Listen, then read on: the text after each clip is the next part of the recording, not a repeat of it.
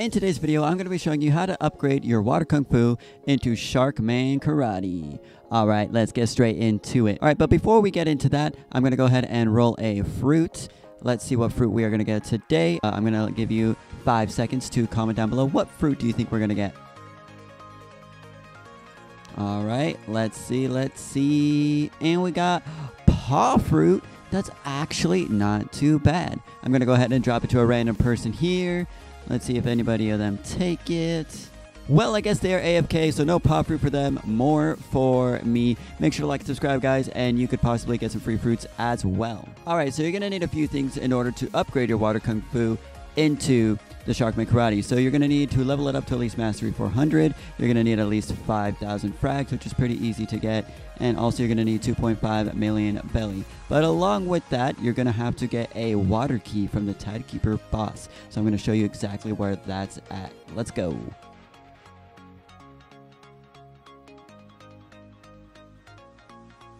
Alright, so you're going to want to come over here to this island with the skull on it. It is called Forgotten Island. You're going to want to set your home point here as well, as we're going to be fighting the boss multiple times in order to get his drop. Alright, after we set our home point, you can also as well get the Tide Keeper quest here if you'd like to, just for some extra EXP. And now we're going to go to actually where the boss spawns.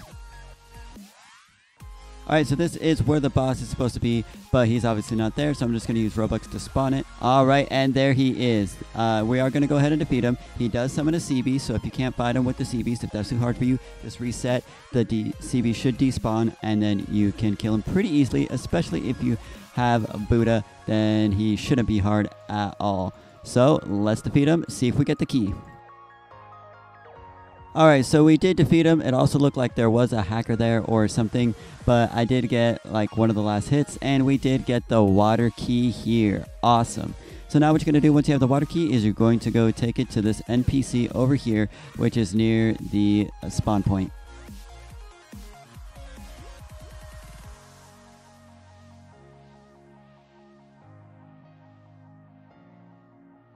Alright, here's the NPC, Daigrock the Sharkman. You're just going to click on him. Would you like to learn the Sharkman Karate fighting style for 2.5 million and 5,000 fragments? Of course, of course.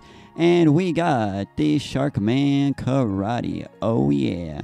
I won't be able to do any showcase on the moves yet because obviously I have no mastery on that. But yeah, that's how you get Sharkman Karate. If this video was useful to you, make sure to leave a like on the video. Also, make sure to subscribe here to the YouTube channel. We're going to be posting more Blox Fruits content here. So yeah, thank you for watching the video. I appreciate you guys. See you in the next one. Peace.